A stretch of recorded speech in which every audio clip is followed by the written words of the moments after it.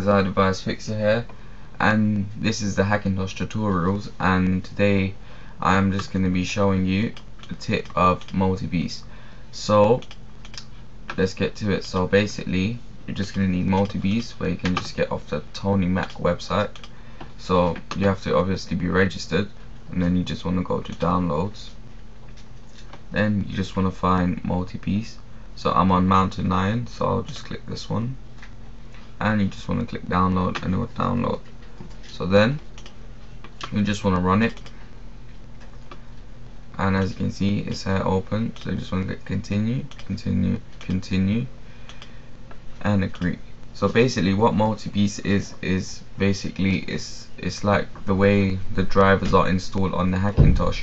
But um, if you know more about Hackintosh you'll know about Kext which are basically manually installing Kext so that's basically like installing drivers manually. So what multi-beast does is that it basically gets all the kext and it installs it for you. So you just gotta tick boxes. So easy beast easy beast installation is usually for the people that um, have a certain type of motherboard which is on the Tony Mac database and which allows it to just install like the main type of kext but this will not include the graphics and audio.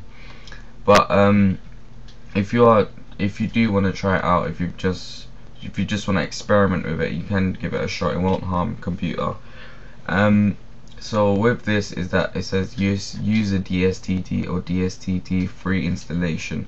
Whenever you install something on this um, multi-beast you always have to check that. So either you have one or you don't you're still gonna have to check it so if you drop down drivers and bootloaders normally you really don't need bootloaders because you can just use Chimera. So if I show you right here go to documents and go Hackintosh.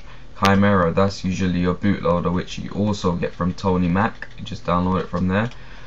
So you won't really need the bootloaders.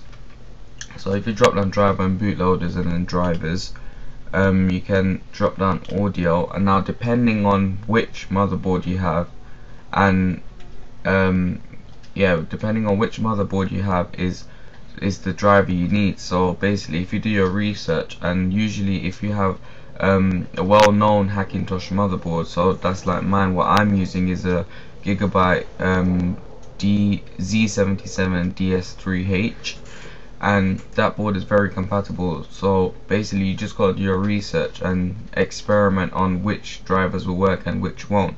So for me I just drop down audio and then I'll drop down Realtek ALC8XX and then you can choose if you have a DSDT or if you want to do it without a DSDT so as my board is a Z77 DS3H you don't need a DSDT for it.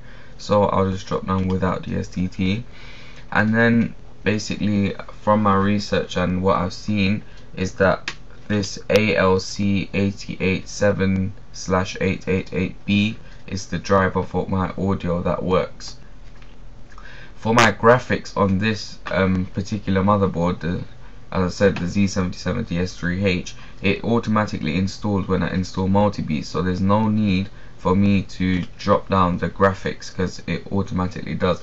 The only extra thing I need to drop down is network, and with that, um, what I have noticed as well that when I install Windows 7 on this, and I installed the um, the gigabyte CD the driver installation which came with the motherboard I noticed that the driver was this Atheros as well. So I did do my research and it was this one so I did select it and obviously you can see that the internet does work with my ethernet.